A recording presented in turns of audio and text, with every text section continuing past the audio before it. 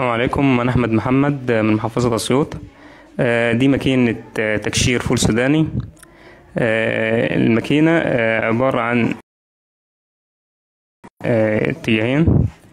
اتجاه بينزل فيه ال- الفول السوداني اللي هو كده بينزل في الطبق ده والجشر بيطلع من من الناحية التانية هنا.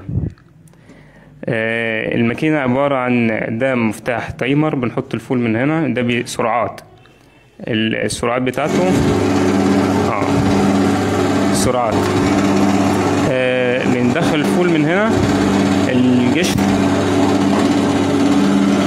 أيوه. الجشر بيطلع من هنا والفول السوداني بينزل هنا. الماكينة بت بتشتغل آه، بتطلع 20 كيلو في الساعة. آه، وفيها مرحلة ليها مرحلتين تاني. آه، مرحلة ل- لفرز الشوائب اللي هو كده. دي فيها شوائب فبيتفرز منها. و... لسه لسه المرحلة دي ما بدأتش فيها.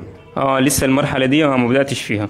آه يعني أنت بدأت مرحلة التكشير. آه مرحلة تكشير آه. القشرة الخارجية آه. آه، المرحلة الثانية هتكون آه، لشفط ال- الشوائب الموجودة في آه في الفول. تفصل تفصل, الشوائب. الشوائب عن الفولة نفسها. آه. آه، المرحلة الثالثة إن شاء الله هيكون فيها ال- الفرز الفولة اللي زي كده. عن اللي هي زي كده. آه يعني المجشر خالص بدون أي شائبة. آه. تمام. هتفرز وهتفرز ال- ال- الفولة الكويسة عن اللي مش كويسة. ال ال ال بتفيد ال بتفيد ال ال التقشير دي بتفيد مين بالظبط؟ بتفيد أصحاب المصانع اللي هم بتاعت الحلويات. وبيتعمل منها زبدة الفول. مم. يعني الفول ده بي... لما بيتقشر كده بيتعمل منه زبدة الفول طيب قول لي هل انت دارس آه، دارس هندسة دارس آه، اي حاجة إيه دراستك؟ أنا دراستي ابتدائي. حصل على ابتدائي حصل الابتدائي. طب إزاي صنعت ال- ال- ال- الماكينة دي؟ صنعتها. بتصميمي. وتنفيذي. أنا اللي صممتها ونفذتها. صنعت آه، عبارة عن إيه صنعت صنعتها عندي في الورشة. أنا عندي آه ورشة آه، حدادة باب وشباك حداده باب وشباك آه يعني الحداده عرفت تصنع تلك الماكينه آه من الحداد أنا آه، بواجي الشغل ال- آه، ال- الحديد بواجي اللي هو بتترمى في الخردة. آه. أنا طلعت منها ال- الاجزاء اللي هي موجودة الموجودة جوه الماكينة دي. وعملت منها المكنة دي اوصف لي الماكينه عباره عن إيه الشكل الخارجي؟ ال- الشكل بتاعها هو كله حديد. كله حديد. آه كلها حديد. آه حديد نوع معين ولا؟ آه، لا هو حديد دي نسخة أولى. نسخة دي نسخة أولى اللي لسه فيها تطور فيما بعد. آه تمام. جو- آه، من الداخل في حاجة تانية غير الحديد؟ من الداخل ما فيهاش غير الموتور موتور آه. آه استخدمت أنت بتقول لي استخدمتها من خامات البيئة. هل أيوة. الموتور كان مستعمل لحاجة معينة ولا؟ آه. الموتور كان آه هو بيستخدم في حاجة معينة. تمام.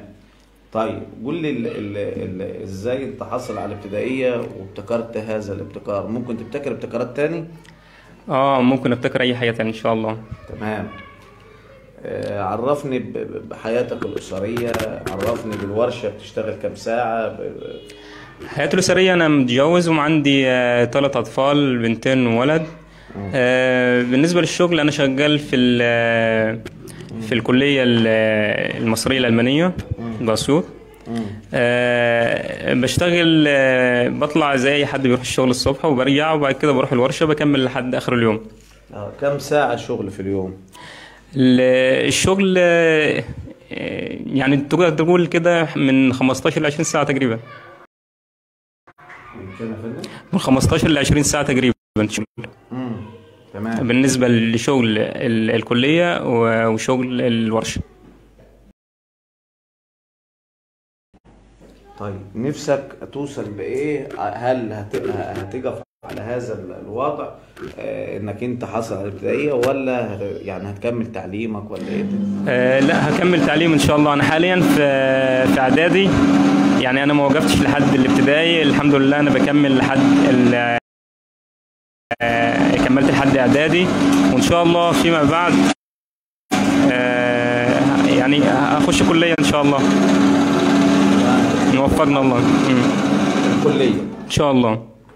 طيب الرسالة اللي بتوجهها للشباب. رسالة بوجهها للشباب آه، إن ما توقفش طموحاتك آه، لحد إن أنت آه، خدت شهادة ومش لاقي شغل أو أو لأ مفيش مفيش أمل أو فشلت أو مش عارف. لأ أنت تحاول إن أنت تكمل تكمل في الحاجة اللي أنت تعرفها. يعني انت لو فني طور انت هتفتخر ان انت فني. يعني فتطور من من الحاجة اللي انت بتعملها. يعني ما تخليكش تقليدي. طور من نفسك.